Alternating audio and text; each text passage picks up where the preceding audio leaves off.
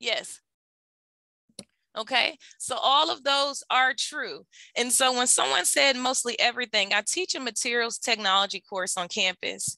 And when we talk about history, we talk about the age of materials, right? And so when we start, we say, okay, we were in um, Iron Age, uh, Bronze Age, and so forth. And at this time, I ask students what age you're in, and sometimes they'll say smart materials, and of course, because we use smartphones and, and um, computers and so forth, but we also could say we're in plastic age. Like so much is made out of plastics. And so in the introduction, they talked about my research. We focus mostly on polymers, not necessarily plastics. So when I get to the hard uh, science part, I'll give you a little more information on polymers and how they're used for plastics. So yes, almost everything is made out of plastics. So before we go into detail of this topic, I want to take a second and discuss what is bioethics. So you see this definition up here, and I got it from this website, and it says it's a multidisciplinary study of and response to these moral and ethical questions. And then you see some more detail about, you know, diverse uh, fields of study, including life sciences, biotechnology, public health, medicine, public policy, law, philosophy, and theology. I highlighted moral and ethical questions. Why do you think I highlighted that? Or what does that come to mind when you think of those two words, moral and ethical? I think of guiding principles that we should consider in all of our decision making, whether it is good or bad for humans and the planet. I like that guiding principles. Anyone else? Maybe something that's slightly more subjective. More subjective? Anyone else? Questions whose answers are value driven answers are value driven. Okay, let's stop just a second on those three concepts that are mentioned, right? And so we say guiding principles, but when we say guiding principles, are all our guiding principles the same? No, but I do have some hope that we could actually come to a rational agreed upon ethics, but we'll see how that goes.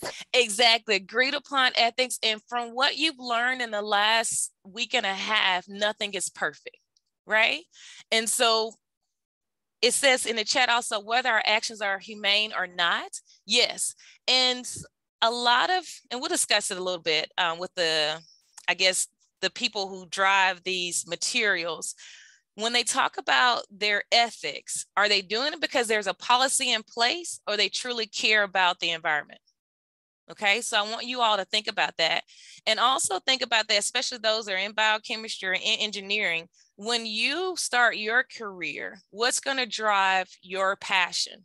Will it be, will you consider the environment or will you consider what's the bottom line and the money that we're supposed to make in this particular industry? Okay.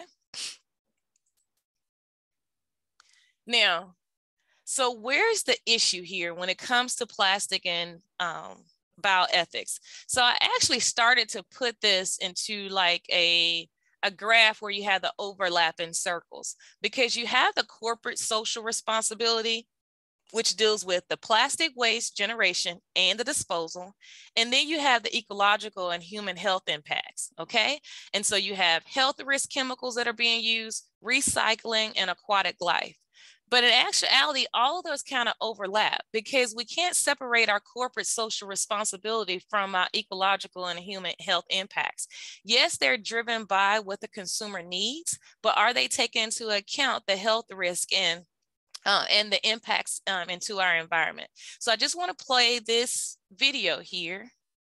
And please let me know if you can hear. It should, oh man, hold on. I wanted to make it larger than that that may not be possible because I embedded it in the PowerPoint. Can everyone see it if I let it play small? Okay. Can you hear it too? If you'll double click on the YouTube icon, it'll take it to a new browser. Right screen. here? Yeah. Yep. Oh, but then I have to, let's see. We can see it, we can't hear it. Okay, give me one second. I think I have to share the YouTube.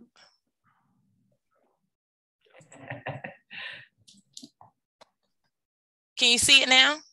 Yeah. Can you hear it? No. No. See? Technology, I know. Click on.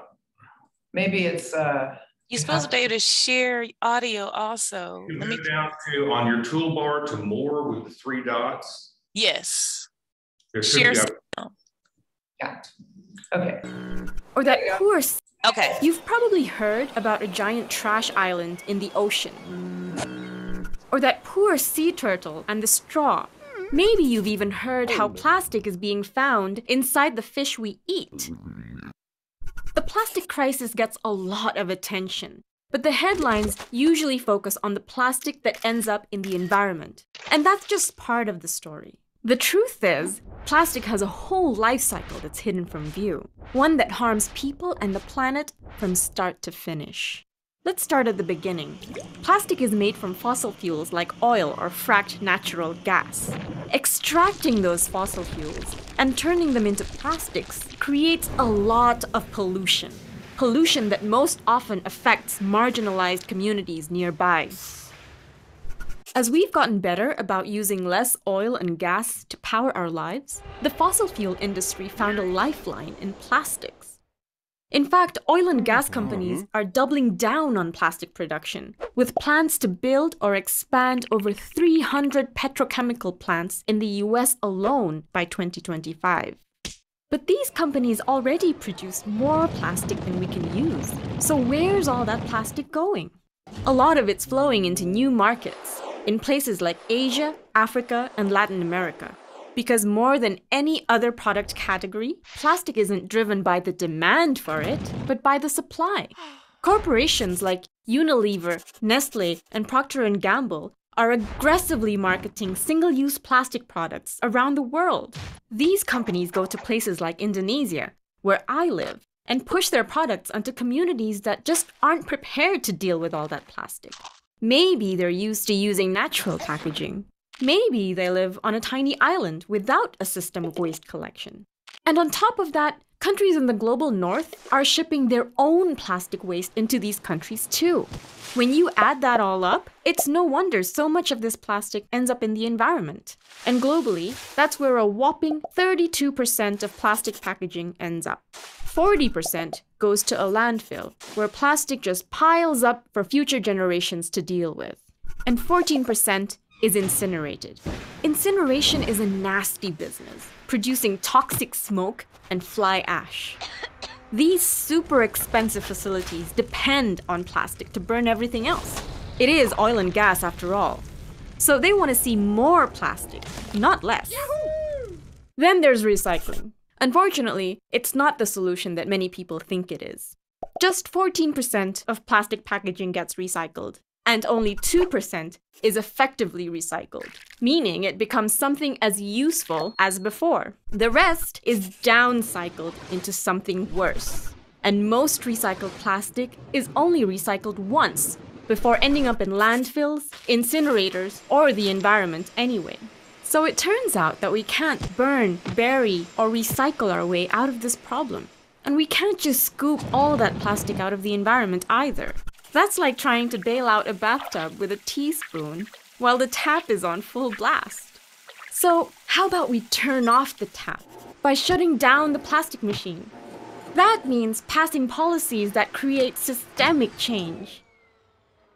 Like phasing out the single use plastics that pollute the most, ending the fossil fuel subsidies that are fueling big plastic, and holding companies responsible for the plastic waste they create. That's how we can achieve our vision of a zero waste future, where all of our products and packaging can be reused or repaired, effectively recycled or composted, and ultimately, how we create a sustainable, circular economy that works for both people and the planet. Visit storyofplastic.org to learn more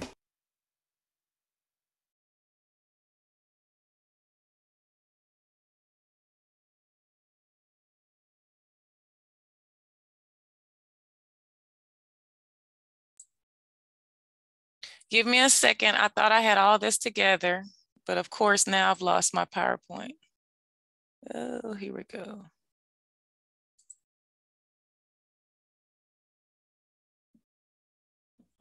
Isn't it?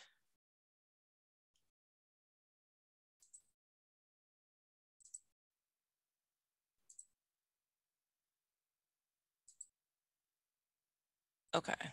You've now you've probably can two or three people give me their thoughts, their first thoughts from watching that video? What um, what struck you the most, like surprising you the most? Or did anything surprise you from that video? I think the most surprising thing for me was that, like us recycling, or I think that the responsibility mainly lies on corporations rather than the consumer. Like, I always thought that me recycling would maybe make somewhat of a change, but it's more corporation based rather than consumer based. Thank you. Anyone else? The, the only thing that I slightly disagree with about that statement is that I think that we, while the individual, this is my perspective, while the individual action can lack power, I think we don't also see how consumer driven change has to happen in our own fundamental change of ethics. If we're demanding as consumers ease of use and disposability and what we want when we want it, we don't maybe realize we're driving these markets. So, yes to policy change and yes to grassroots ethical extension as well, I think. Thank you, Dana. Anyone else? One more person. It was definitely overwhelming. I Okay. feel like um, I wasn't aware that we were dumping our waste to like other countries and places. Like that's just horrible. I agree with that. That is overwhelming and surprising. I actually have a, another video that's that's going to sh- that I'll share with you that's going to shed a little more light on that how ridiculous it really is and how it has become overwhelming for other countries. Um, two things that I want to point out. that you all hear the term doubling down from the industry? What does that mean? What do you think it means? Did anyone catch that?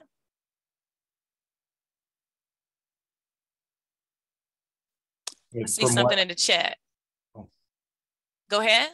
Yeah, from what I understood, it was that um, even though like the uh, use of fossil fuels for energy was going down, so industries have been investing in fossil fuels to make more plastics. Exactly. So we hear about fossil fuels and the oil industry, but these companies are depending on our use and demand of plastic so they could turn that up. Is that surprising? Not especially. Not especially. Okay. The other question is, so they list a couple of companies, Procter and Gamble and Nestle are just two that I'm going to point out.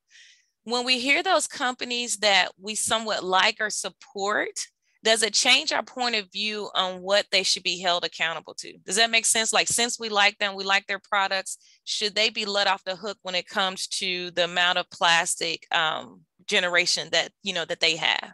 What do you think? Absolutely not. Anyone else? I feel like a lot of the customers will like care and want it to be better, but especially in companies that are like well known and well liked, there is always going to be some level of support Yes. regardless of the individual. Exactly. Yep. And someone put that in the chat too. No, but it will be hard to get people to agree with that. No, but our initial reactions may not be holding them as accountable. That's true because it's almost like a friend, right? We kind of let them off the hook because we they produce a lot.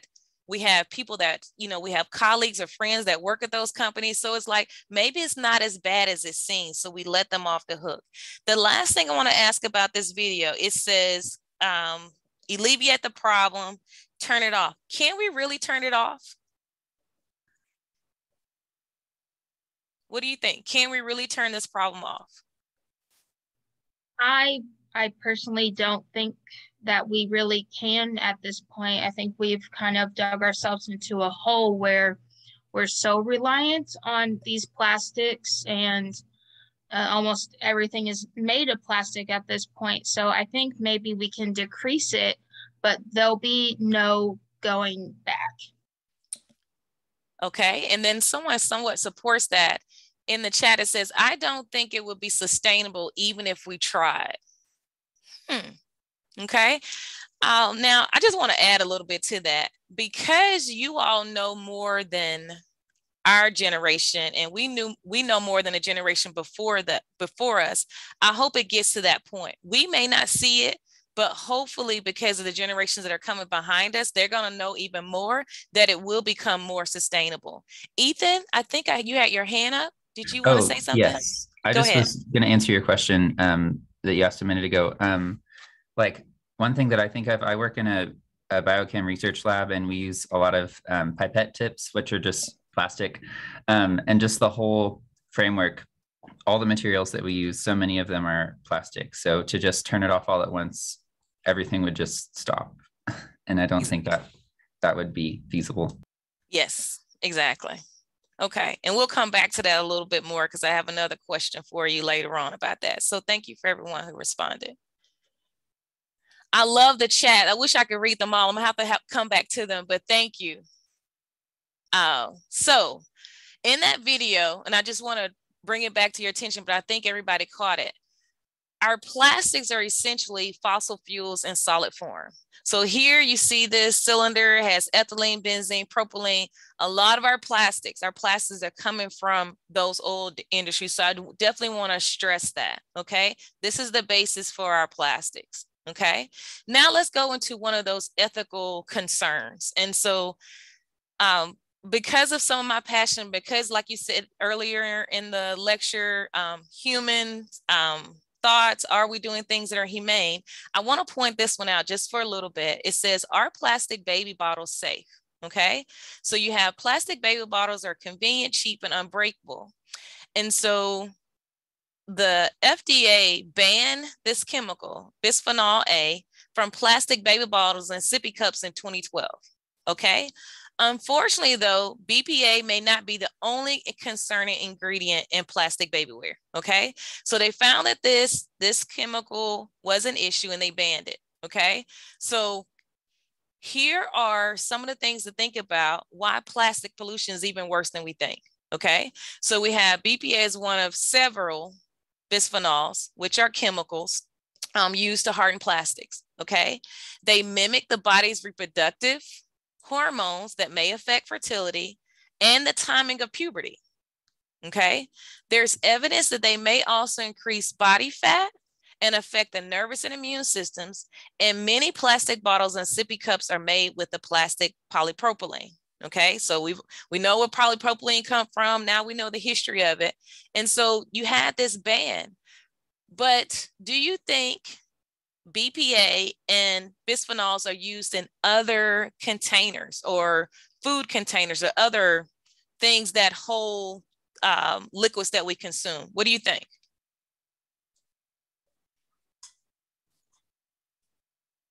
I'm not sure on this, but I think this kind of plastic, I, I don't know if I'm right, but this kind of plastic is used to make like water bottles. Is that correct? Yes. And there's this, I actually, um, last semester or this semester, I had a human nutrition class where we talked about are plastic water bottles safe? Because people are saying that um, the chemicals that they put on the on the plastic mess with our hormones and all that, and it can get cancerous and very like threatening for people who drink water. So that's that's what I that's what I think. Okay. So if that's the case, and if they're used like in the lining of canned goods and so forth, so they're used in other places and they ban them for baby bottles, why aren't they banned for other usage? Usage, I'm sorry.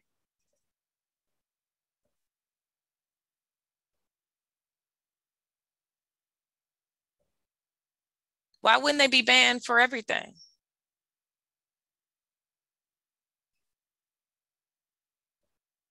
Anyone? maybe this is a case of um, where we um, maybe policymakers give certain industries a pass because um, they're more well liked or have a um, better public opinion or something. right? So we give them a pass. We're thinking they're going to do the best, maybe lower the concentration, right? And we also hope they're looking for alternative. All right. Different industries have different rules. Yes. Anyone else? They assume the general public won't be affected, but babies will be more because they are more vulnerable. Everybody agree with that, or some agree with that?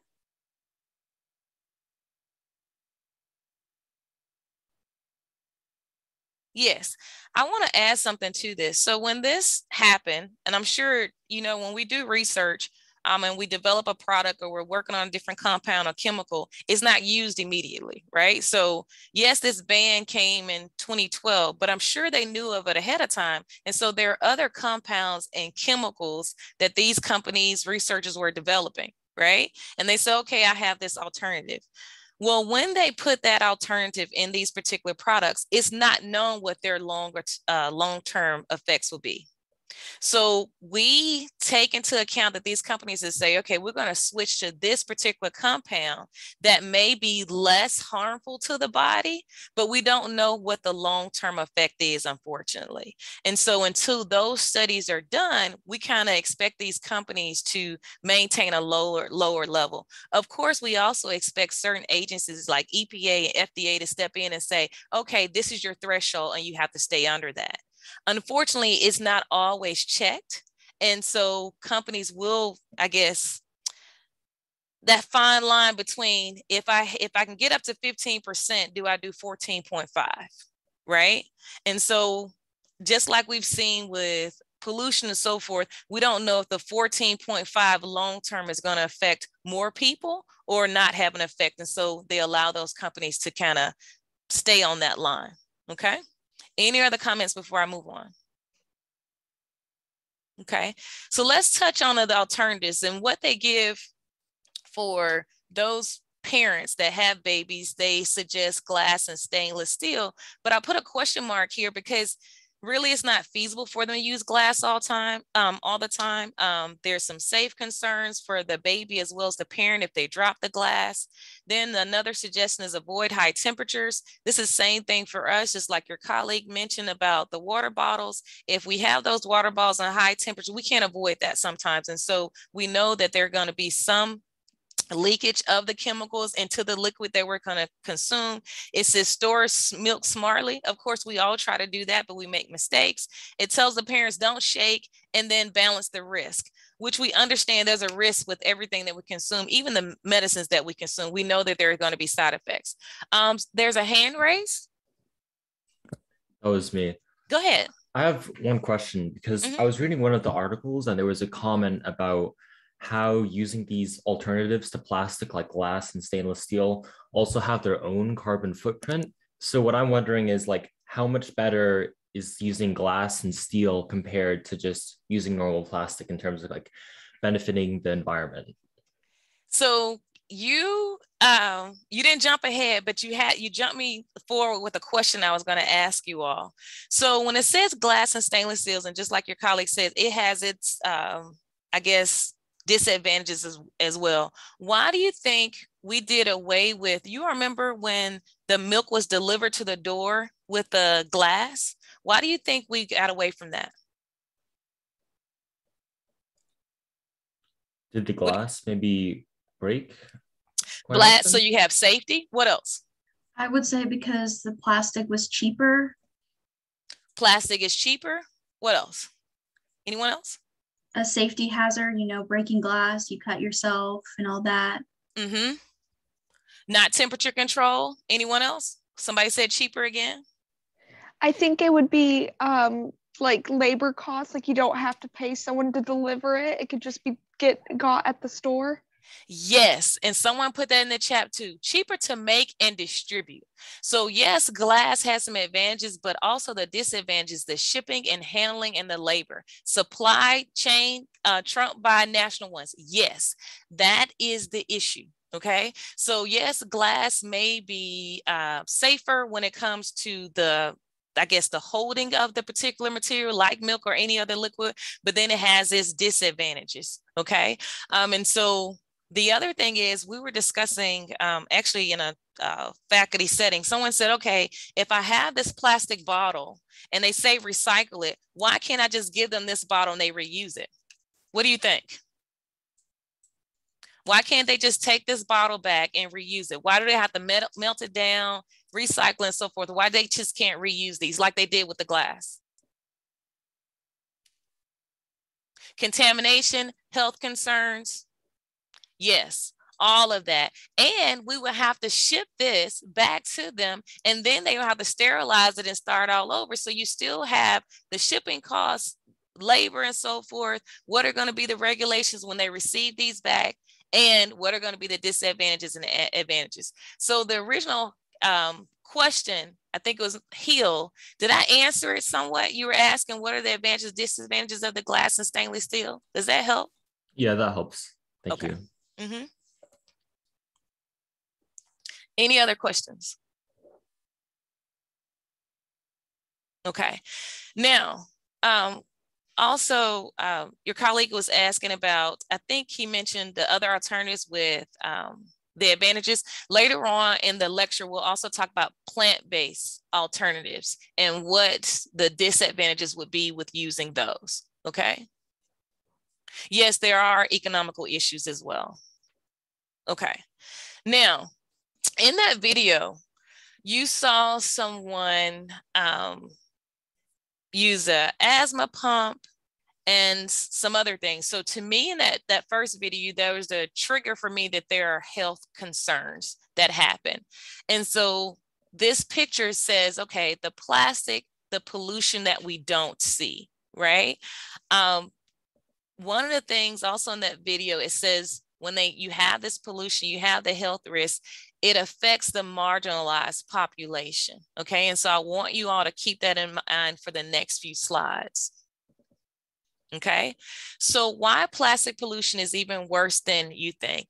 Okay. So a lot of times, and I think they mentioned uh, the presenter mentioned it yesterday. Uh, we don't think about what happens to get our particular products or who's affected and so forth. Um, because we're not near plants, we may not think about the pollution that's caused and how those that are nearby uh, suffer with asthma and other health issues. So I want to point out these facts here. And yes, it's a wordy slide, but I think it's important. Important. 90% of plastics are made from a chemicals rooted in fuels, and we already know that. Okay, um, they're refined and distilled into usable chemical compounds such as ethylene and benzene. And then we've already pointed out that the oil industry, Exxon, says it hopes to grow 4% each year. And part of its scheme is to achieve the growth involves one word plastics. Okay. Now, with plastics, it's a modern miracle. We talked about it being cheap, being able to ship it, lightweight. You see all the different um, products that you can make out of plastic. We say plastics everywhere. You see masks. We know it's durable and so forth. But then we also know that it's accumulated. So we have 150 million tons of plastic waste are discarded annually. Okay, this says 9% of plastics are recycled. The video said 14%, but we know there's only a small percentage that's actually recycled. And we know that there's a percentage that's affecting our aquatic life. Now, this says the real impact, but really it's just one of the impacts. But it's concerning to me because it's affecting a community that someone has done like stories on, and I provided one of the resources for it. But there are multiple stories like this. Okay. So if you look at this map, um, it shows Louisiana and then it has this place, Laplace, near um, New Orleans. And it says a neoprene plant continues its toxic legacy to me right now, to me, just that heading can be alarming because it says a toxic legacy. That means that it's been known for years and we don't know how many generations it's actually affected. Okay. So a study found that the emissions like chloroprene, benzene, toluene, xylene, and so forth in the air and in the urine of people who live near the nation's only neoprene plant in Laplace, Louisiana during 2021 According to the EPA, the risk of getting cancer in that area is 47 times higher than it would be in the rest of the country. Now, we just talked about if this is okay, this was found out in 2021, a study, but we know that this plant has been there for years. And I'm sure this community has expressed dismay about the pollution. Why wouldn't there be more of a regulation of this particular plant. Okay, it's showing where it is, and you see it's near a river, so it's near a water source. And then it's also showing some other pictures of how close it is to a school, church, and daycare center.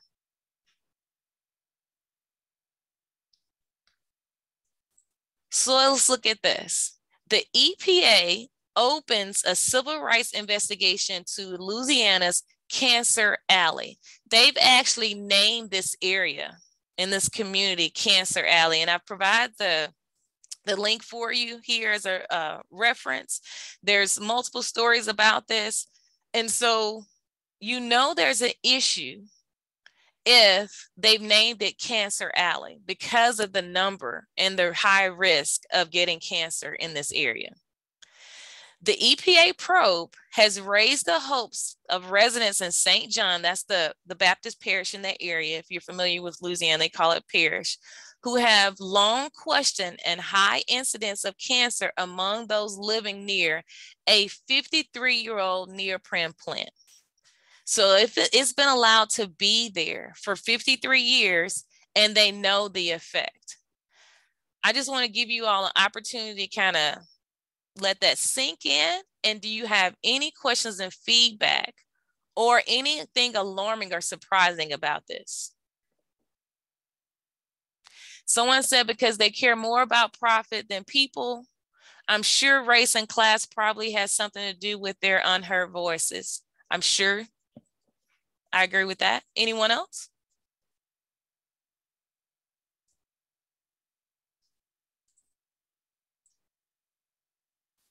Nothing surprising?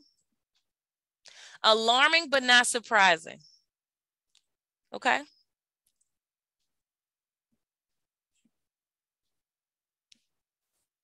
Oops.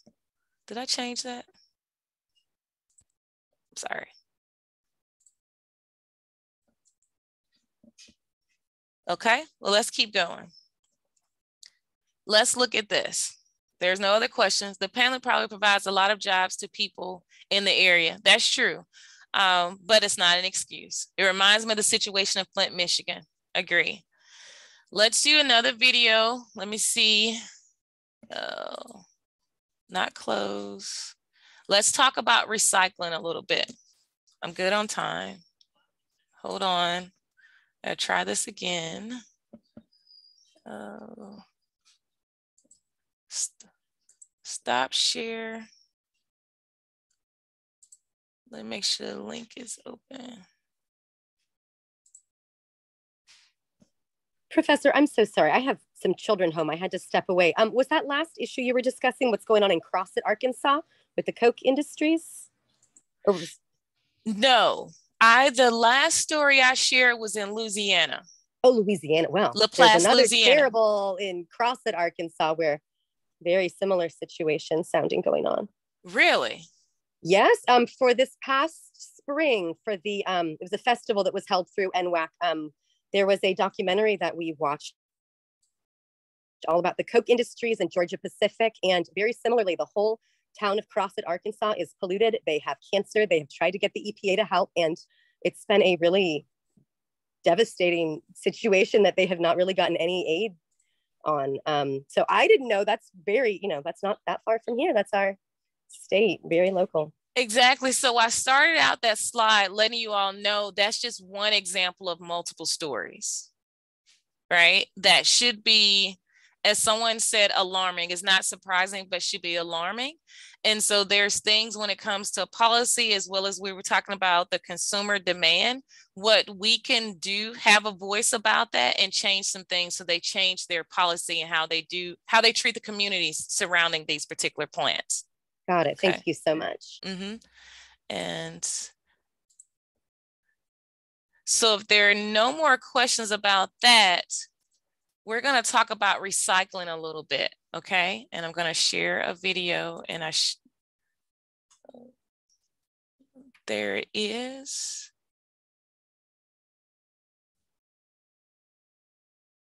And let me make sure the sound is shared.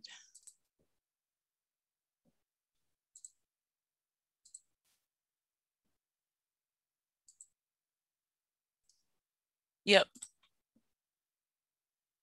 As Can you all a see it product and that hear it? Miraculously appears from nowhere and it goes to nowhere.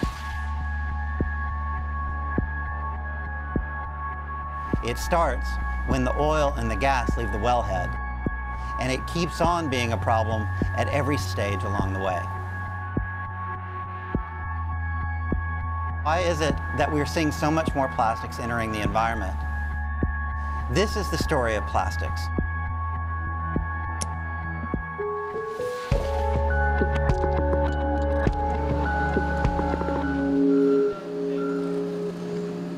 Got into recycling because we thought it was the right thing to do. Of course, it is a disposal service. Uh, You know, at its core, it's taking stuff that people don't want anymore and, and trying to do something better than landfill with it.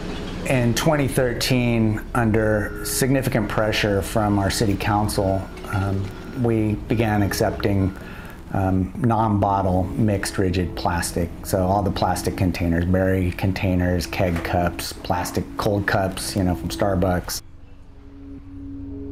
Procter and Gamble wants us all to believe that all their packaged goods are in, you know, totally environmentally sound packaging. You know, they want us all using single-use packaged products so that we're just, you know, on the supply chain. It's totally unfair to the cities and the recyclers on the back end because then everyone says, oh, it's recyclable. It's recycle ready. You should collect it. Well, then what?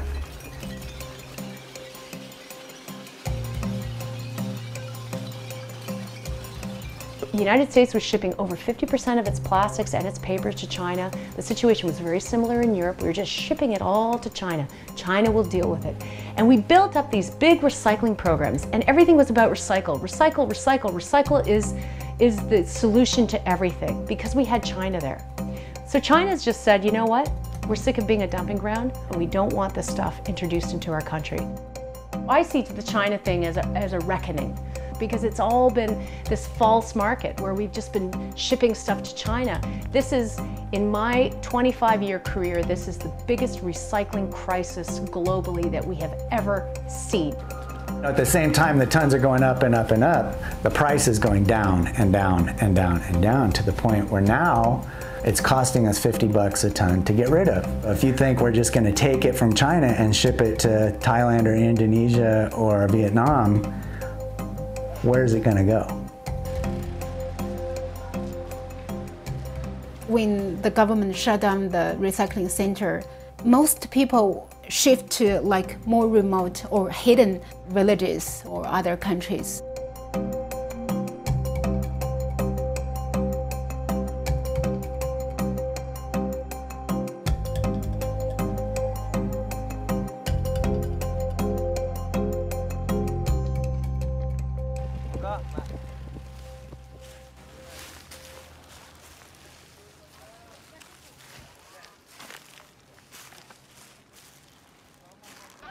From from US.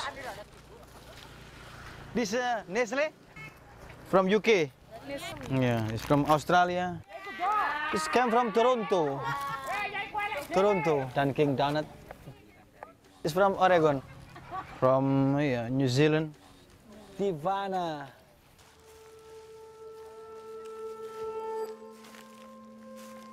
Ya awalnya kita memang eh, merasa plastik ini sesuatu yang eh, bagus ya.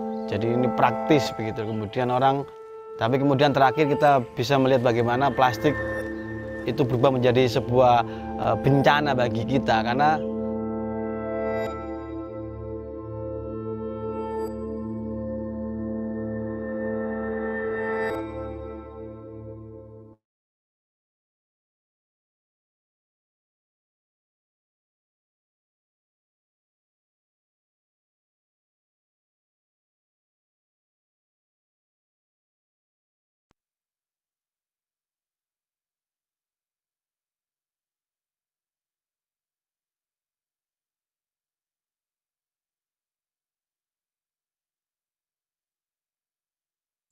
Sorry, I forgot to unmute myself.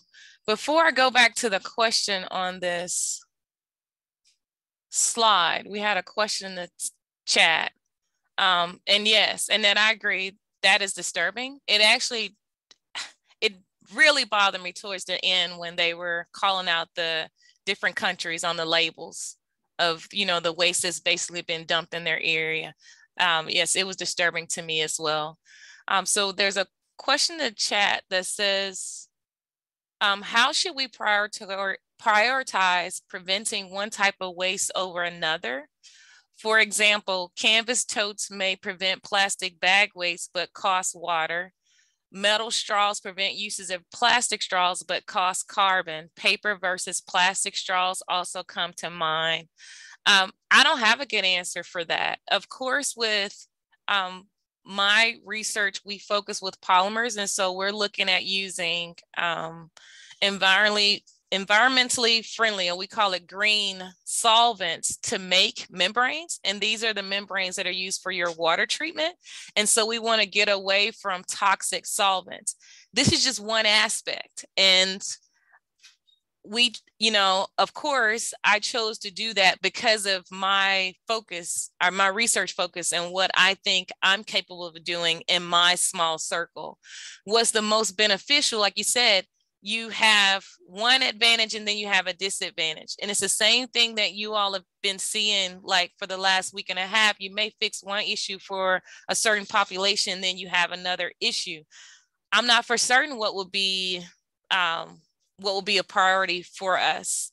Um, I am going to share with you some things that people are doing to use sustainable materials, and that may be an aspect um, that we can start with but I don't know if that's a priority for us.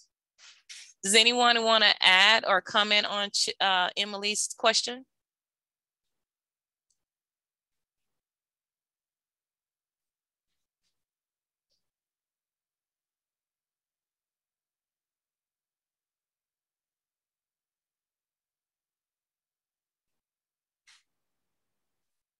Yes.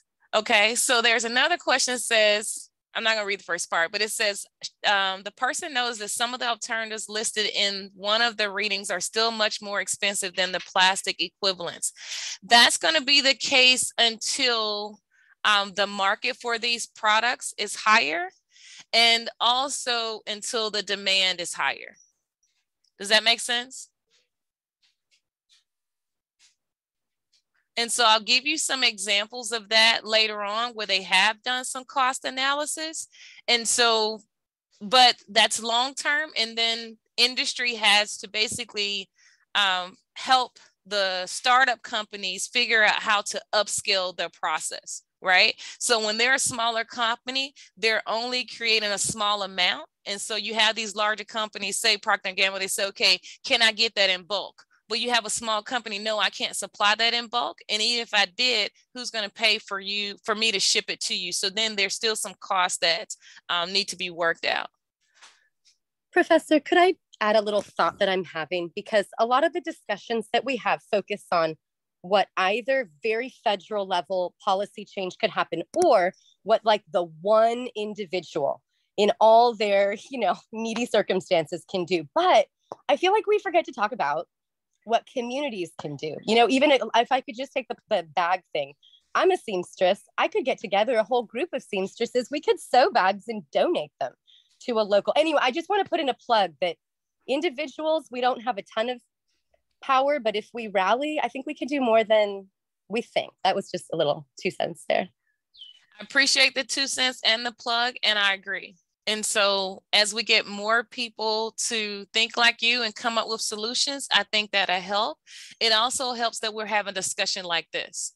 So, hopefully, someone um, here today, um, it may be something new that they haven't thought of, and they'll share it with someone in their community and they'll share it with someone else. Does that make sense? And so, you kind of pass it along.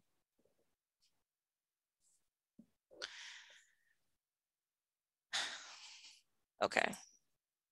Plastics are treated. Okay, now, so your colleagues have pointed out some things that we can do differently, and now I want to dive in that a little more. Okay, so it's somewhat so surprising to some, not necessarily me because of my area, the amount of plastic waste that's generated by the beauty industry. This is cosmetic, um, basically everything we use toiletry from you know laundry and so forth. So i've given you some examples here of how it can change. Hold on one second. I apologize. They're changing the lights in my building and they opened my door. I apologize for that. Um so one picture I have here is the butterfly. I don't know how many people use like uh, bath bombs. And so you can use that instead of like, you know, when I was growing up, you had the bubble bath, you had the plastic container. And so this would cut down. And then more recently, they have the laundry detergent sheets that they're using or distributing. And so these are alternatives that we could possibly try using now. Someone put in the chat, there's also many opportunities to join an organization dedicated to helping your local community issues. If one, if anyone is curious about some in Central Arkansas, I have a few organizations that I like a lot.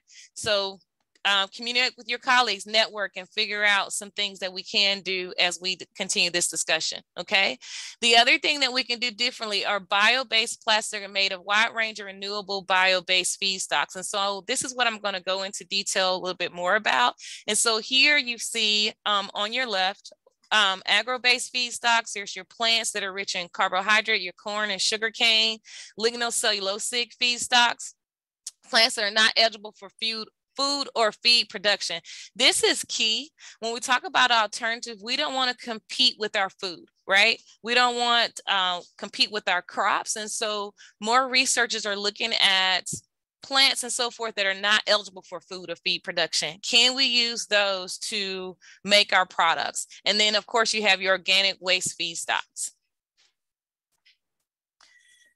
Now, so I don't know how many of you all play with Legos or still have Legos around, but there is a prediction that Legos will be made of 100% plant based plastic by 2030.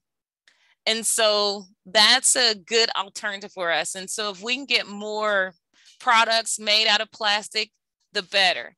Then you see on your right, there's water bottles made from 100% um, plant materials in the Middle East. They've hit the market. But what do you think would be some drawbacks from the plant-based water bottles? Anyone? One or two people in the chat or take yourselves on mute. What do you think the drawbacks would be? Well, in order to grow the plants that are used for this plastic, you're going to have to have cleared land and area to do this. So that could exacerbate the problem of uh, global warming and climate change because you're landscaping in order to grow the plants. Yes, that is a drawback. One of the things that they're doing with that, um, Cassidy, what I mentioned before, they're taking crops, say like weeds and um, wild grass that we don't necessarily use, so that's just there. And can we use that particular material instead? So that's what they're studying now, so that you don't take up, um, you know, grow more of it. It's just kind of there. What can we do with it? Okay. Anyone else? My concern would be that rather than changing, rather than making a lifestyle change where we don't want to use so many disposable products, just switching to a different source to make those disposable products will, in the not so distant future, I think pose many of the issues we face now, where a fundamental like lifestyle change seems like it would have more lasting consequences. Okay. All right. Anyone else on the drawbacks? So someone put in the chat, seaweed-based plastics can sometimes be weaker and not able to hold water. Yes, they can be weaker. That is a drawback. The shelf life is going to be shorter. That's a drawback. Another drawback that we have to consider, we've been drinking out of certain bottles and so forth. It's in a taste is going to be different that we have to be concerned with. Some people, someone said in the readings and mentioned that these types of plastics don't break down as well as we would think. That is true as well. Anyone else before I move on? Uh, um, could it affect like, well, for one, I think it could affect like brand loyalty and like customers that are used to using the same thing because they're not going to be, if there's changes being made, they might like not trust it as much because like changes, people don't like it. But also like I, I don't know how the process works of making that type of plastic, but I'm assuming since it's you know something that's new that they haven't done before, I'm assuming it'll like affect prices somewhat, and that I I, I don't know how if the process is more or less expensive than like the normal process of making plastics, but that could also affect prices. Josephine, that is a good point, and you're thinking like an engineer. So what how how and why we're going to change our process and what's going to be the cost of changing that process right and now that we have this different material we've been using plastic for so long polypropylene and so forth and now you want us to use this cellulose base what machines are we what machines are we going to need to do that. Yes. And so the next video, this is more of just fun and informative. So you can see how plastic bottles are made. And this is with, if I'm not mistaken, PET. So we're going to move on. Oh, this was supposed to be not as hard for me, but give me a second. We're to, I'm going to share this video.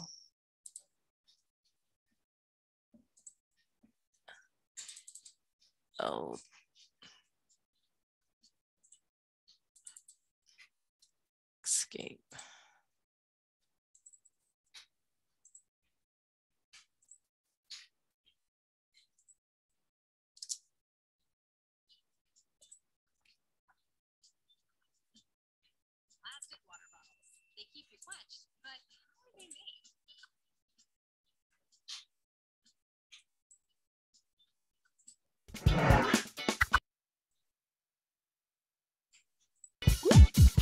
Plastic water bottles. They keep you quenched, but how are they made?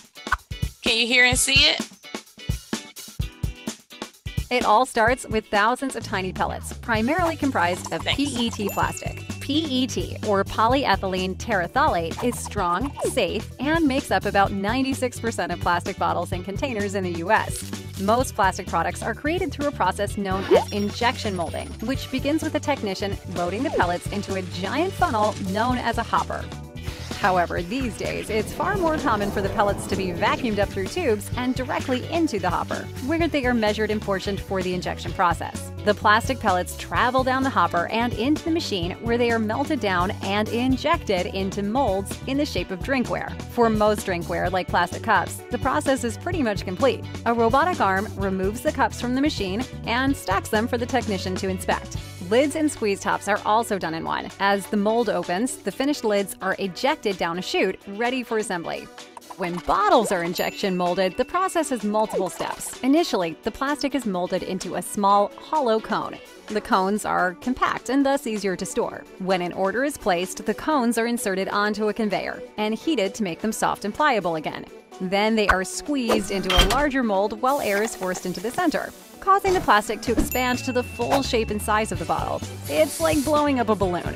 When they exit the mold, you have a fully formed and beautiful plastic bottle ready to hold your favorite beverage. Some machines are so enormous that the entire process is completed internally. The plastic is melted, the cones are formed, and then immediately molded into finished bottles without ever being touched by a technician. But we're not done yet, because injection molding is not the only way to make a bottle. This is extrusion molding, a process in which heated plastic is squirted out into long, hollow tubes like large plastic noodles. Three at a time, the molds clamp around the plastic noodles. Air is forced into the molds, and the plastic tubes expand into the completed shape of the bottle. The bottles are formed, but there is extra plastic to be trimmed. So they are run through a cutter with a heated blade that shapes them up like a hot knife through butter. Now it's on to heat treatment. Without it, the ink used in screen print and pad print will not properly adhere to the drinkware.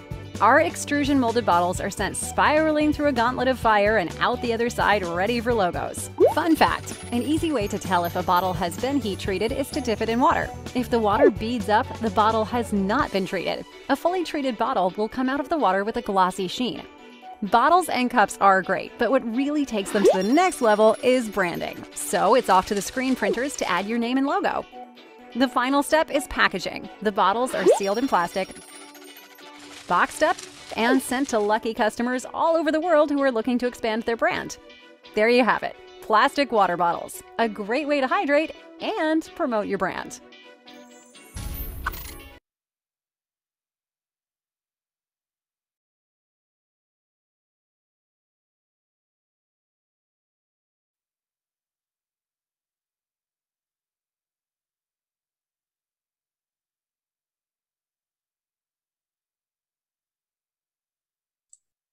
So what you just saw to kind of break up our talking a little bit is a video describing um, making of the bottles using PET. And from what your colleague informed you is that switching to um, strictly plant-based is going to change the entire process, which can be lengthy and expensive because you already have the process and the setup there, right? And so now you actually have to transition to something totally different.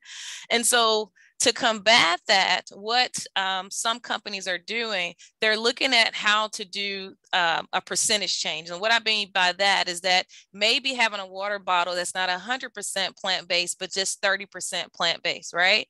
Um, and so, is there a difference in the bottle compared to the one made from the oil based sources? And so, they're doing studies on that. And just like you said in your reading, they're seeing that you know having 100% you're still going to have issues. So can we take a small step to transitioning um, to a different way of making these bottles? And so how is this possible? So PET is made from ethylene glycol and terephthalic acid. And so there's two ways to make ethylene glycol crude oil and corn. And so if we do more with corn now we're transitioning to more of a plant-based resource instead of using crude oil. And so that's what the industries are, again, they're doing, look at a, looking at um, investigating and see how they can to transition to more of a renewable resource. This also kind of confirms what your colleague was saying about brand. And so if some of our trusted uh, companies would do this, then our consumers would probably trust it more because it's coming from a brand that they already use, right? And so a, a brand that traditionally used crude oil, now they're saying, hey, our bottles are 30% or 50%, or later on, even more, they're based, they're plant-based materials. Hopefully that consumer will be more, in, you know, um, inclined to continue to use their products, even though they're now produced by renewable resources.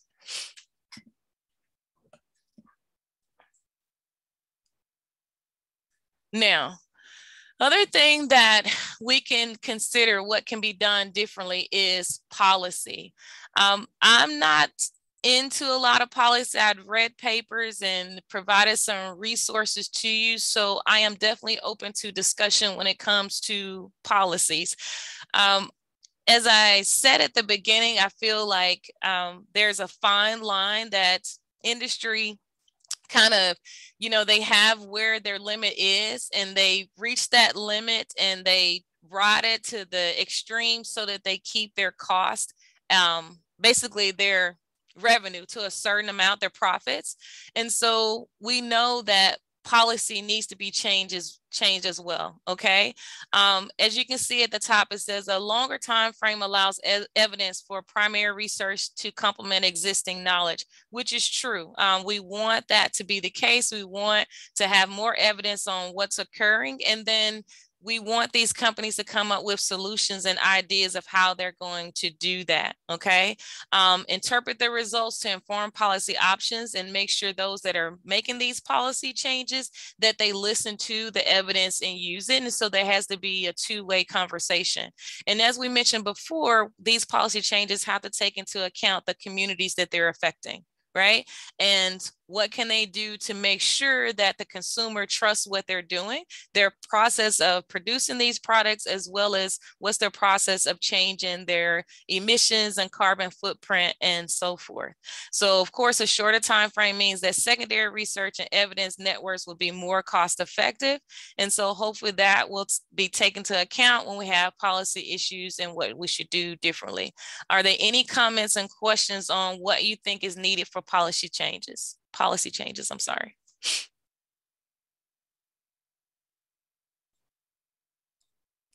For these policy changes, like applying to corporations and such, like how could we, I guess, pressure them to become more sustainable or like what what would they be willing to do to become more sustainable and uh, I guess how do I explain it? Sorry. I've just been thinking about this throughout it, and I'm trying to figure out how to say it. I'm sorry about that. That's okay. I'll I'll while you're doing your thoughts and feel free to come back on. I think your colleague Dana mentioned before it can start with the consumer. And if we demand them to do more, then hopefully they will, right? And if there are policies in place by EPA and so forth that says, hey, you can't, you can no longer use this particular compound. Like we're going to give you a certain amount of time to come up with something else. Otherwise, we're going to say no more. Then I think, I don't think that's an option now, but hopefully that'll be an option in the future. Um, someone put in the chat, it'll be difficult to be done. One area struggle with it is uh, plastic waste in hospitals. Yes, there isn't a lot of accountability or incentive for hospital to use less plastic. That is true. That is true. So, and we said that earlier. I think somebody mentioned that different industries are going to have different policies, right? They're going to be different restrictions and limitations on how much they can change and what they can do with their process. Um, Ethan, you have your hand up.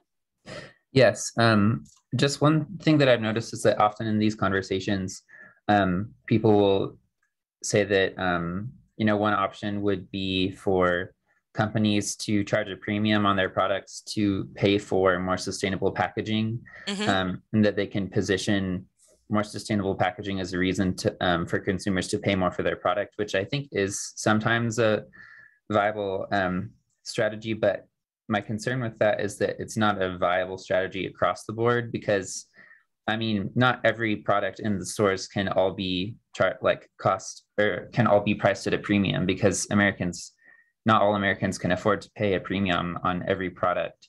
Um, and so, um, yeah, I think that would just have some limitations. Good point. Uh, Dana, you have your hand up? Hand up?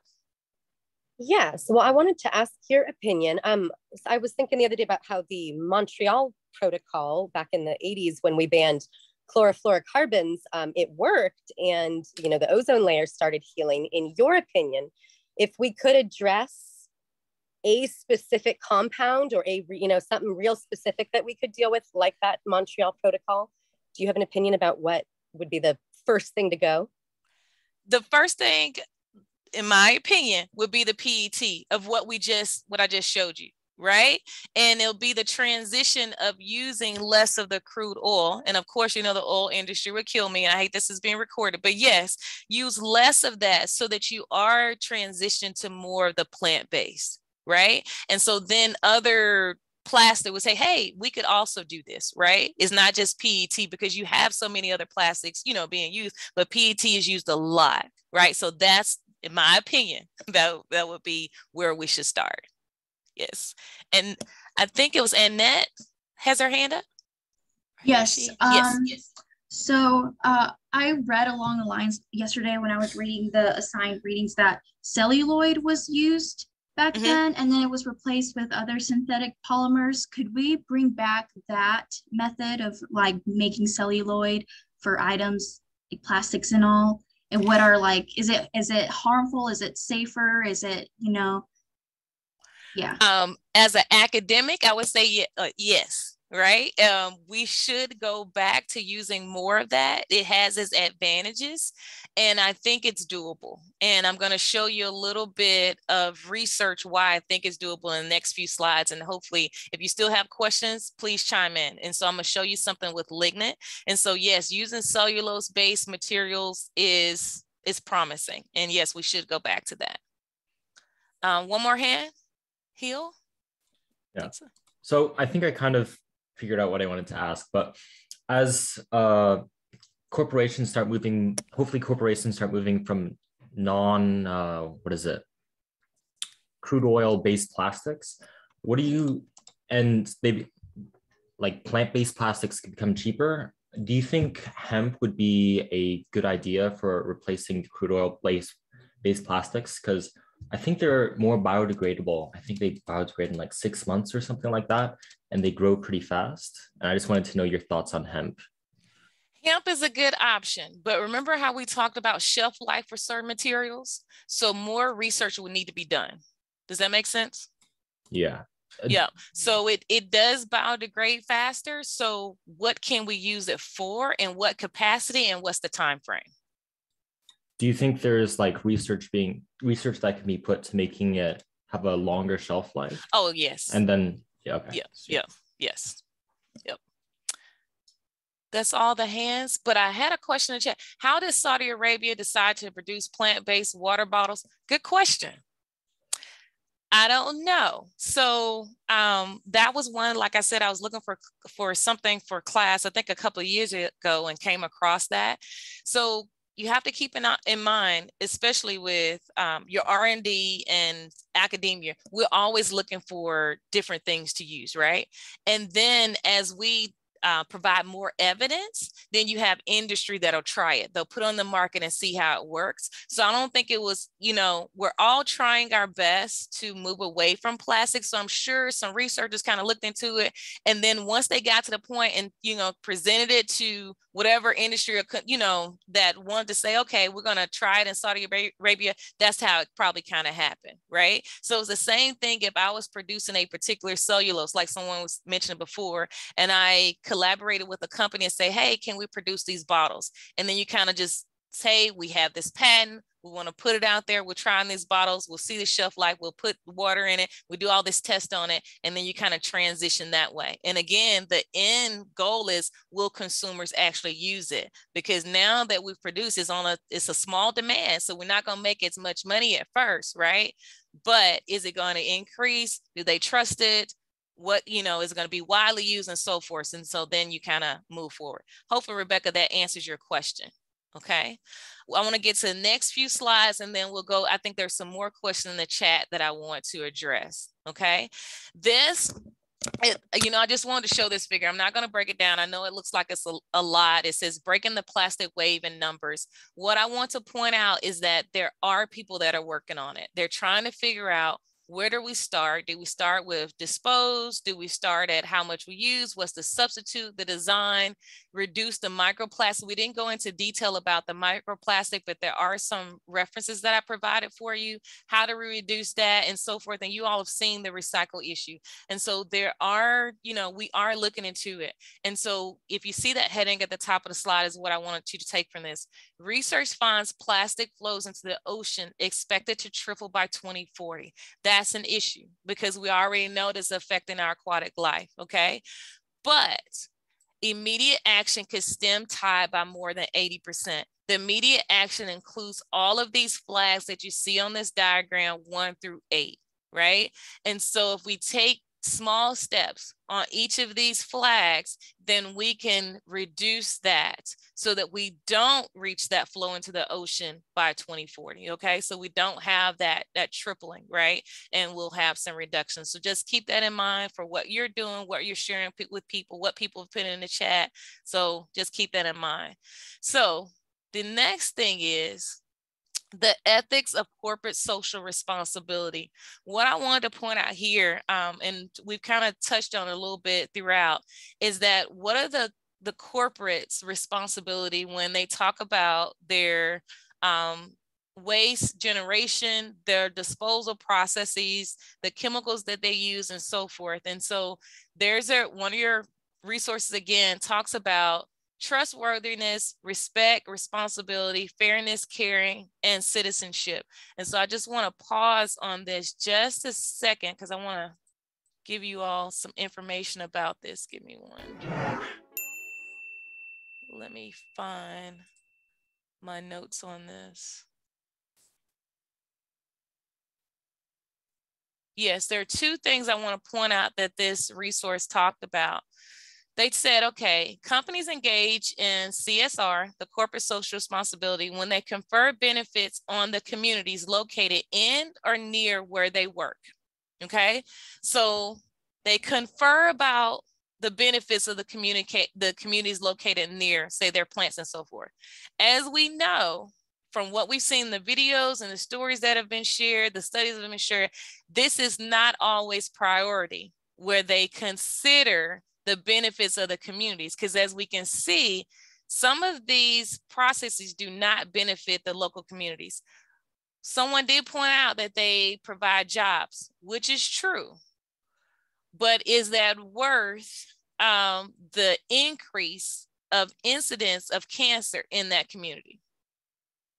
Okay, um, so by it's not required by law for the corporate to consider these things. when they're looking at their profit oriented operations. So it's not required by law that they consider that. But we're hoping and through their colleagues that because of ethics that they will. Okay. Um, so one example is consider a mining company which offers to build a road between its landing strip and neighboring community in order to boost local tourism or business. So that community takes that as a benefit because they're going to build a road. But on the opposite side, is that um, do that does that community take into account the long-term effects of that mining company there? It's just something for you to think about when you're looking at these aspects.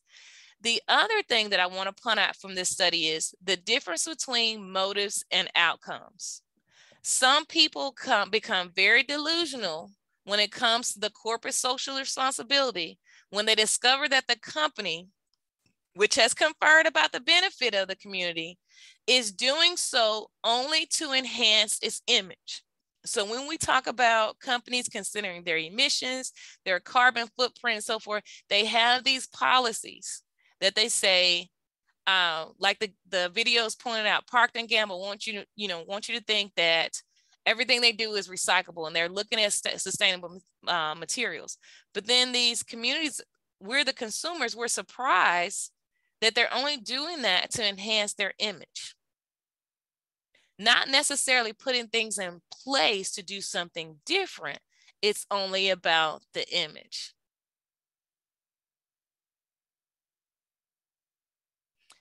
Does anyone want to comment on that?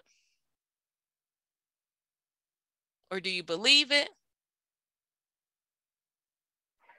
I feel like it kind of goes. Can you hear me all right? Yes. Um, I feel like it kind of goes with like the whole like consumer demand thing. Like if we demand that they, you know, become more eco-friendly and then they do that, it's like a benefit.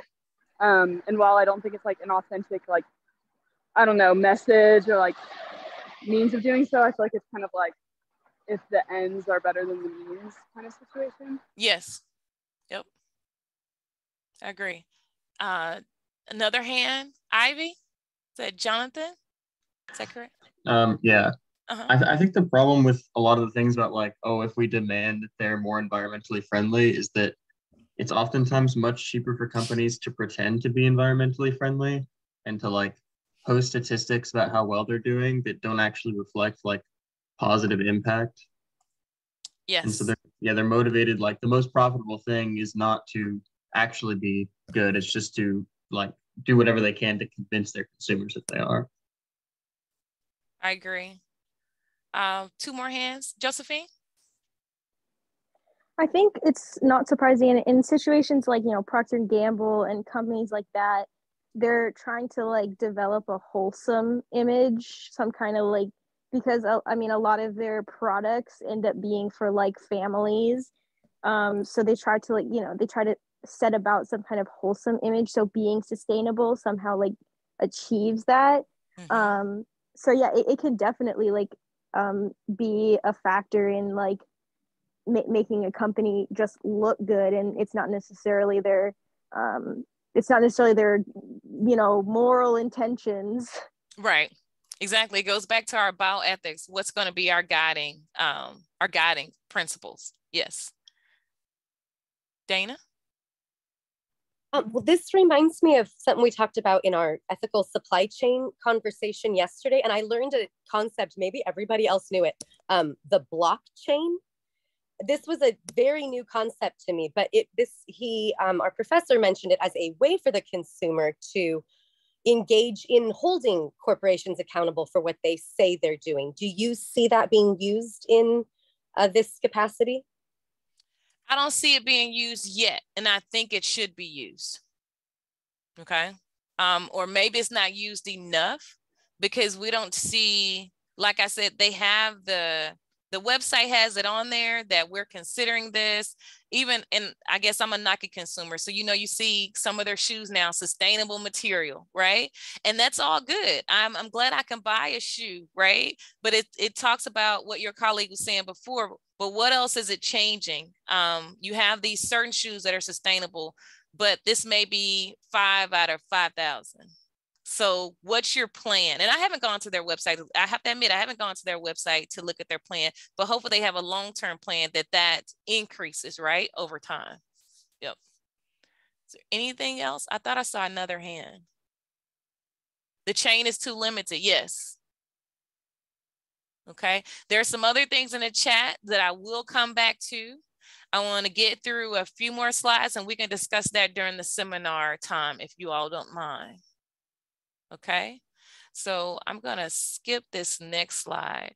And I just wanna give you all more of a, it's really a small picture, but I think it has great potential of using renewable resources um, for materials that we use. And you can kind of see this coming um, in the immediate. And so you all were talking about the time frame.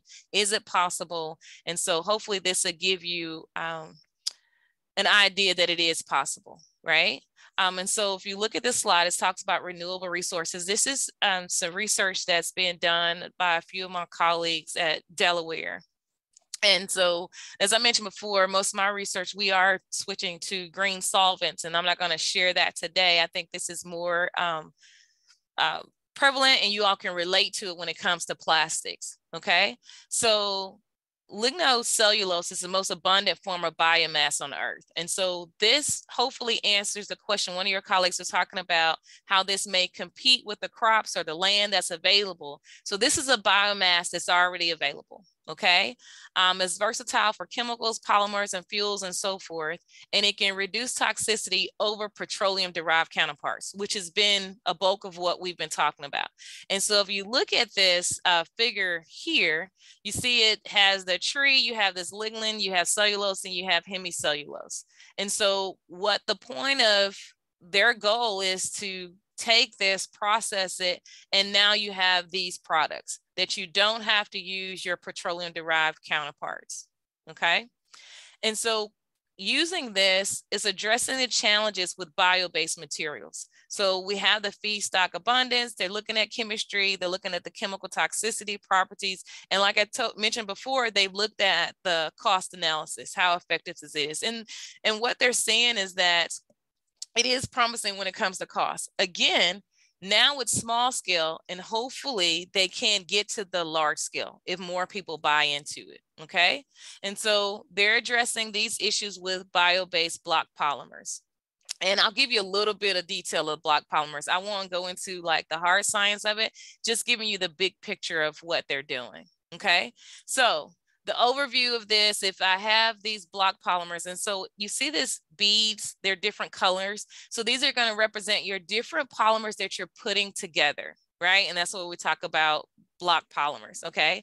So we have sustainable, low-cost feedstocks. We just talked about biomass.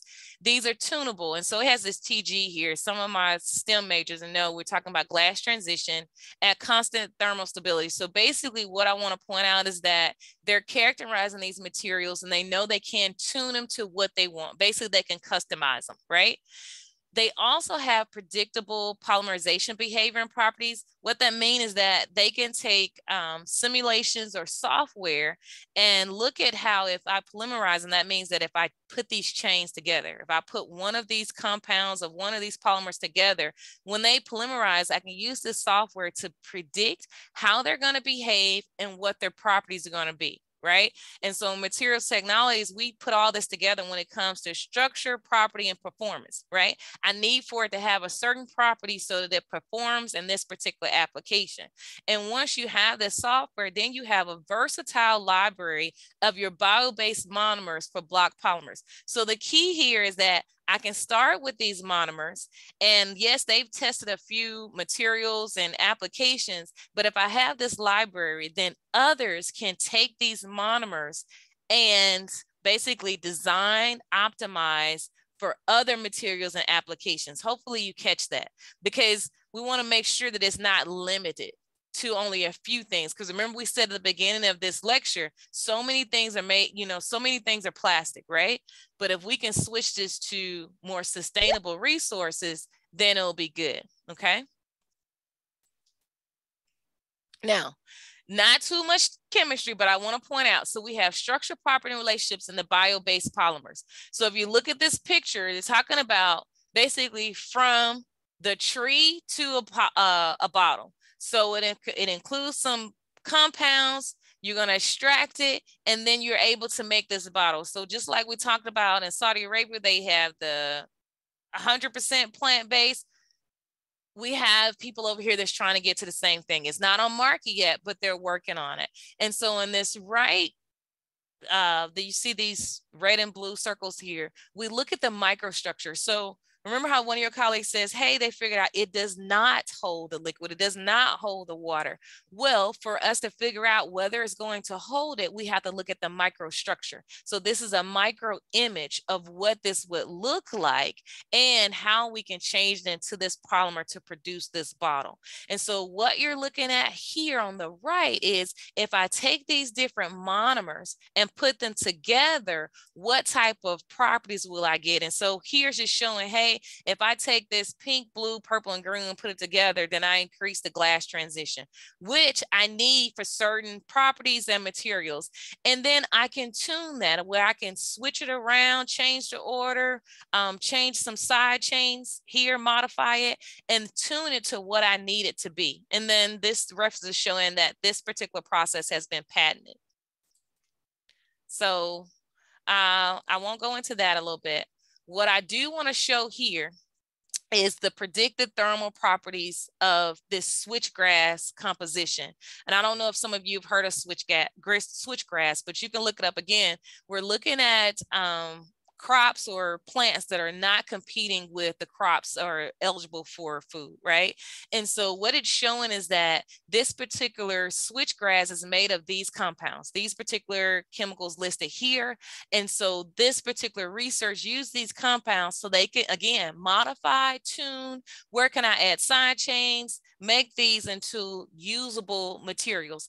And by using this, then they can predict the thermal properties by using what I told you before, software, right? Using simulations. And then they can say, okay, if you have switchgrass and you have these compositions, this is what you can switch around. So instead of having A, B, and C, you can add an X to that and switch around and, and change your blocks so your end application can be different and we can tell you what the thermal properties would be of that material. Okay. Um, again, the thermal properties are dependent on the feedstock, which is the biomass that I mentioned before, and the functionalization. The functionalization is what we change those side groups to if we're putting um, the different blocks in a certain order and adding side groups to, um, say, the phenols and not the syringols. Okay. So that's what I mean by functionalization. All right. So lastly, this particular um, paper um, and if you see it at the bottom here, so we'll start at the top. It says pressure sensitive adhesives, PSAs, directly from biomass, real lignin.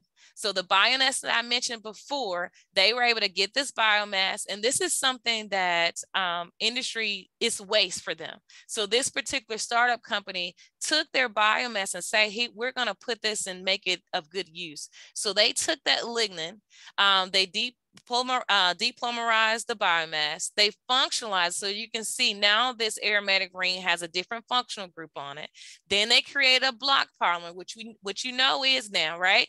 They created different um, orders. So instead of, you know, they have the pink, blue, and green. And so now they have a block polymer and now they can polymerize it to something useful. So they created tape from this lignin. So now they have what the title of this particular paper was from tree to tape. So it's a direct synthesis of your pressure sensitive adhesives from depolymerized raw lignocellulosic biomass to produce this tape. Yes, I thought it was creative too. Um, we have a, a hand, Annette. I hope I'm pronouncing your name right. Yeah, you're Annette? pronouncing it right. Okay. Um, so after what you explained, I thought this was really cool um like how can we like dispose of it like chemically like how can we recycle this method or like whenever we use items make plastic plastic items out of this? How can we just like dissolve it or something like that? I'm just curious to know how we can break it out, like break it molecular, no molecular Right. level. Kimmy rules. So most of your um, plant based are going to be biodegradable. Mhm. So a certain period of time, they're just going to break down. Um, so depending on how the functional groups, though, um, you can do it where you can, um, what do you call it? So like if I create a polymer in a lab and say I cross-link it, I could change that cross-linking process to the point where I'll know how much heat is needed to recycle it. Does that make sense? So then I'm functionalizing it, but uh, then I know what I need to do to actually break it down. Mhm. Yeah.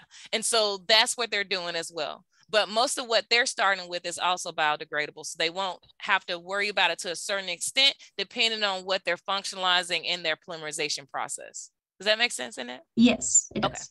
Okay. Any other questions? Okay.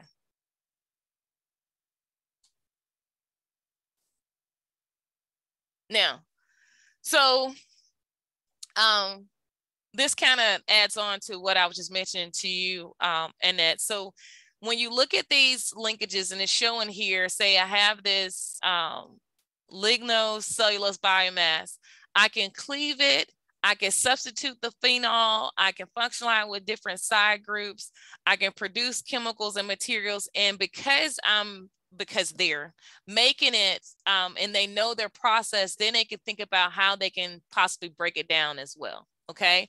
And they test it along the way. And again, that's why it's important for them to develop that library because then someone else can say, well, hey, I can take those compounds, I can take those different uh, functional groups and then produce something else. Okay. Annette your hands up again. Yeah, uh, I just want to get used to like the terminology of this. Like, what does hemicellulose and ligno, I believe, lignocellulosic mean? Because I know the word cellulose, I know it comes from plants, uh, but I just want to know like the the these words. Okay, so when you have your basically your hemicellulose, it's not pure, like you're gonna have something else along with it, Mhm. right? And so you basically functionalized it. Um, your solid cellulose. So in this particular case, they have a mixture of your solid cellulose and your uh, hemicellulose. Okay. Your cellulose is basically um, your sugar from this lignin, right? And so Yes. this particular. Okay, so you got that part. Okay. Yes. And so when you have other cellulose, you may have like cellulose acetate, right? So now they've added a uh, acetate group to it. Okay. All right. Dana? I have so much respect for your understanding of the chemistry here.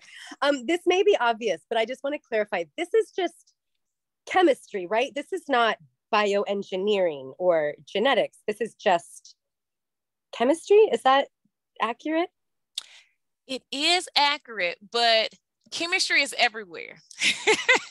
so I also talk here. So what I want to say, it is just chemistry, but you have some of these um, compounds or functional groups in use, so it can be associated with bioengineering.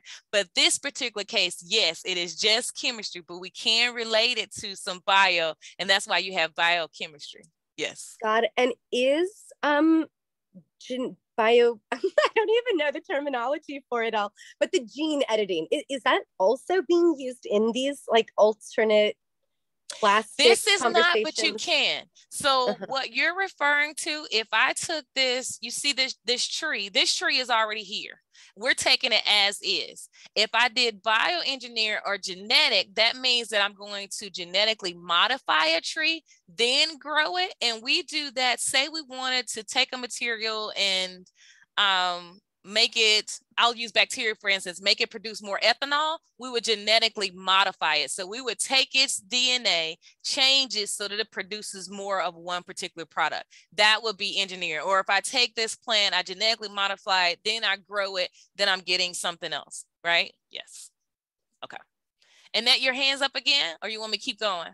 Yeah, uh, I'm just very curious about this. So I'm not really big into like the hard chemistry. I know just like the fundamental concepts of it, but I was wondering what thermal properties, or is that what you mentioned? Thermal I did. properties are. Yes. Does that so- does that like is that associated with like like I know thermal means like like heat and energy and all that. Does that link to like how they how much energy or heat can they withstand? Like can they like the molecules withstand or or something like that? Like I don't know my yeah, yes. So when we talk about um, glass transition, this is a little harder science. But remember how we talk about polymers and I mentioned glass transition. So when you have polymers, you have somewhat of a chain, right? Mm-hmm. And so they may be organized in a certain order. And depending on what the temperature is, that particular chains, when they're together, they may relax. And then when they relax, the properties of that material itself may soften or get stronger depending on its thermal properties. So would that also be like a risk for if you're using products made out of this? It, there ha- they, they have to be in a certain temperature or something like room temperature or that. Yes, you have to take that into account when you're designing the material. Okay. Yes. Thank you. So any modifications, we have to know how it responds to the environment, right? To Mm-hmm. a certain environment to know how it's going to behave in its application. Okay. Does that make sense? So if I was making so like in class we talk about say your uh the mirror on your car. If that Mhm. car is going to be in sub-zero below zero weather, we Right. need polymers that can withstand that temperature. That means that they're not going to become brittle and just break off. Mhm. Okay? Yeah. Okay. Um hold on one second notion. Um click and clack are we okay to continue into the seminar hour to kind of answer questions? I only have like a few more slides or you want me to stop them for a break? What do we want to do? think, uh, Go ahead, and then we'll take our usual fifteen minute break. This has been great. Go. So keep going. Okay. All right. So I saw another hand. It went down. Yes. No shame. No Sheen. Go ahead. Sorry, I didn't want to interrupt because I know the hand like shows up on the screen. Um, anyway, so I I was looking into this and um, obviously I don't fully understand a lot of the chemistry, but I have taken through like elements of biochemistry, which is like one of the lower level biochem courses. Um, and I was just wondering, um, I've heard about like lignocellulosic like biomasses, um, or I was reading about this, um, and how they can potentially be used um, for jet fuel, which I thought was really fascinating. I was wondering if you've heard about that. And um, if you have, if you could speak more on it. And if you haven't, then if there is um, any ideas of like, I don't know, just weird combinations that this could be used for, I guess. Right. So I haven't, I have not. But what I can say from my knowledge is basically what you have a biofuel. You've heard of those, right? Yes. It's the same thing. So you Right. have this uh, material that can produce some type of oil, right? And so that's what they're using it for. Yeah, that's really fascinating. I guess I Yes, just never considered all of the different like applications that this could have. Yes. So it's the same. Yeah. So same thing, same, a different application, but yes, it can be used for that. Um, it's the same way, you know, we think of like bacteria being able to produce a certain material for fuel, like ethanol and so forth. So yes. Thank you. Mhm. Any other questions? Okay. So your colleague mentioned the thermal properties. Um, there are other characteristics and properties that has to be done, right? Um, to make sure that this particular material um, can be compared to what's already on the market. And so some of the things that we do um, for materials in my lab, you may look at the tensile strength, how much stress and load it can handle, um, how much it can be stretched before it, breaks and so forth. So they had to do a peel test and they did it at a, a certain temperature. So they're just showing their apparatus and they're showing their peel force compared to Scotch and your Fisherbrand labeling tape. And Fisherbrand is what we use in the lab. So you would expect it to have, you know, a peel force higher than the others. But it's just letting you know that this particular plant-based tape is comparable to what is already on the market, which I think is good and very cool. And again, it's just showing evidence on where we're moving when it comes to more sustainable or renewable resources. Now, lastly, and I actually um, I'm not gonna go in really. I wanted to show this one just to show the the cute little picture here that they decided to show the 3D printing with real bio oil and so forth. You see that, and because people are fascinated with um, 3D printing and so forth. But it also shows you again how you can take the lignin, depolymerize it, um, certain temperatures, showing you the chemistry of it, break it down, and then it has this word acrylation. And so they're doing something to it, functionalization, like I mentioned before, and then they're able to print. And so again, there are people that are working on these things. Things are promising to use renewable resources. Like some of your colleagues say, we won't get there all at once, but there are steps that are being made um, for us to move forward. Again, this is a, a small startup company. There are companies that have contacted them and say, hey, can you send me these particular compounds in bulk? They're not there yet, but I'm hopeful that they'll get there. And so this is definitely a good start. So through all of that, we got through it. I know there's some other questions in the chat, but actually my next slide was question. And I do have some other slides on lignin if there are more questions about the chemistry and so forth. But I do want to stop at this time to address any questions. And then if we need to take a break, then we can because we're at 1145. Oh, I see a, a couple of hands. So I think I saw Annette's hand first.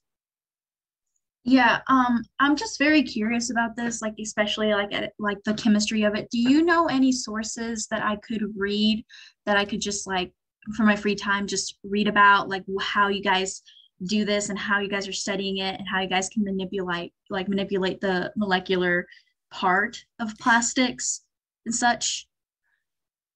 So that's two part to your question. So this part, um, I can put these like references in the chat. These okay. are going to talk more about the chemistry and the polymerization, right? Okay. And yeah. but it may not give you as much information that you want on the plastic side. And so let me look at some other resources that may you, you know, that you may want to use when it comes to plastic. Because these are you know, this is 2017, 2018. They're a little older, so there may be some newer ones that speak to what's out there now when it comes to using, um, you know, the bioplastics or producing them. Okay. Uh, yeah. Thank you. Mm-hmm. Ethan. Hi. Yeah. So I um am a biochem major, and I just took biochem two, where we talked about a lot about metabolism.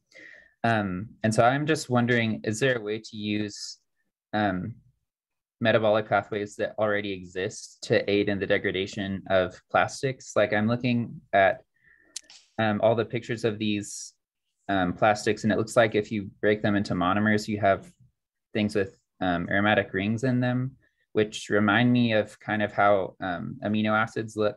So I'm wondering if there's any way to modify these monomers um, so that they could become amino acids and then just flow naturally into the metabolic pathways that already exist in organisms. Of course, Ethan, biochemists can do that. So basically what you're asking, so when we talk about break them down your metabolic pathways, um, what you probably remember from your biochemistry is that you have enzymes that can cleave at different sites, right?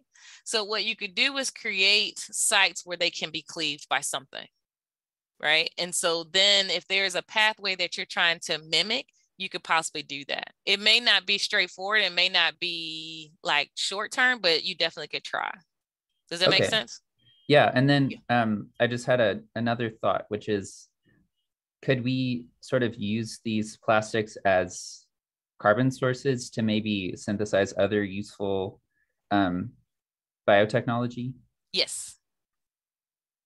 Okay. What um what kinds of things could we make?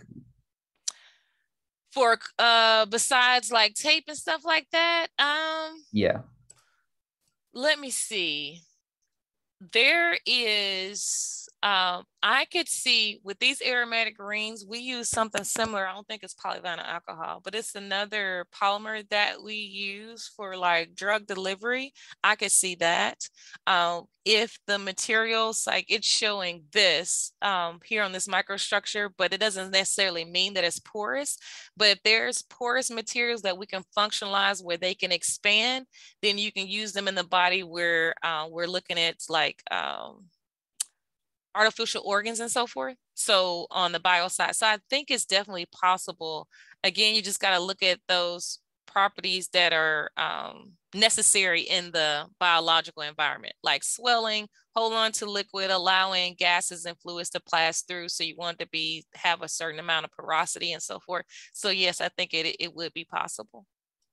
Awesome. And then just I have one more question. How do you go from um or how how does a scientist go about like imagining what um like a potential thing that you could make with plastics, you know? Like it, it's one thing to already have the procedure and to just do it, but how do you go about designing that procedure and thinking of the possibilities? Uh, there's two ways. Uh, well, it's, it's probably multiple ways, but a lot of times we look at a problem and then try to figure out a solution, right? And so if we know that the chemistry is available, then we address it that way. Does that make sense? So we have this problem, say it's um, again, say it's drug delivery, right? And we need something that would swell and create pores. And then we look at what type of polymers are available, what chemistry is necessary, and then we work backwards. Okay, that, Yes. that kind of makes sense. Yeah. Then the other way is to look at this compound. Like I was telling you, they're creating, yeah, I don't know if you see my cursor, but you have this compound and you say, okay, um, what can this compound be used with or what can it be functionalized with? That's why I think the library is going to be key. And I don't know how far they on it, they are on it, but when they have a particular library and they have the particular compounds and they have their thermal properties, you can say, hey, we have these, say five different compounds, they have these particular characterizations, let's test them for this specific application. And then from there, you kind of create questions and then answer them. Okay, thank you so much. Mhm.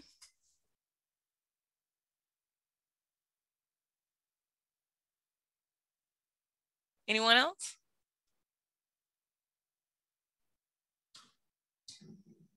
Well, click and clap back at you. That was brilliant, Professor Key Thompson.